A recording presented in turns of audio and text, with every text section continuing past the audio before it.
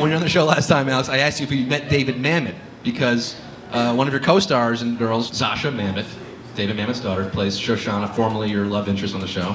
And you, to my surprise, you said you haven't met the guy. Have you met him since? No. Still no David Mamet. No Mamet. Doesn't come around the set.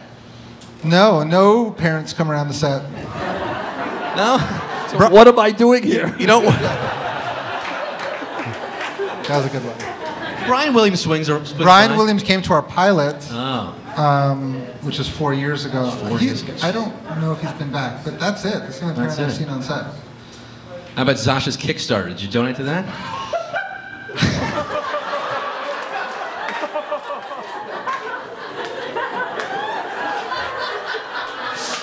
when you crack with the band, you know it's a good one.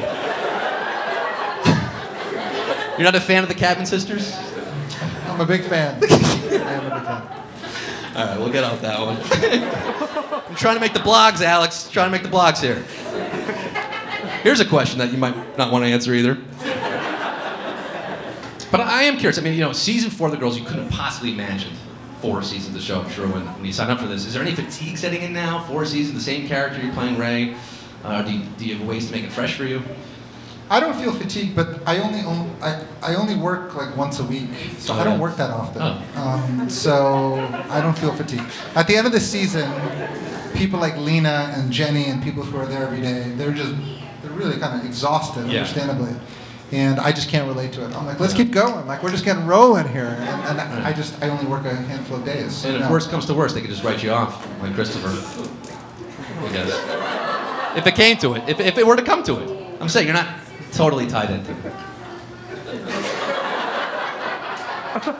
Alex, would you watch Girls if, would you watch Girls if you weren't in it? I mean, is this your kind of show? I think I would. Yeah. Yeah. Hmm. I would. I think I think it reflects the. I, I've been in Greenpoint and Williamsburg since 1999, and I think it really reflects the people that I remember Yeah. in my 20s, which wasn't that long ago. Uh, people that I grew up with, and relationships that I had, problems that I, embarrassments that I went through. Yeah, Yeah. it's funny. It, yeah, it is funny, and, and it's, it's doing well, and uh, I'm excited for season four. You can't tell us anything about it. A new haircut so. for the character? New, nothing? Anything?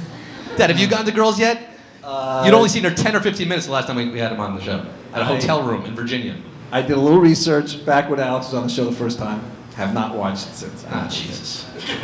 What do we need to do creatively to get you to watch the show? We got to get him high.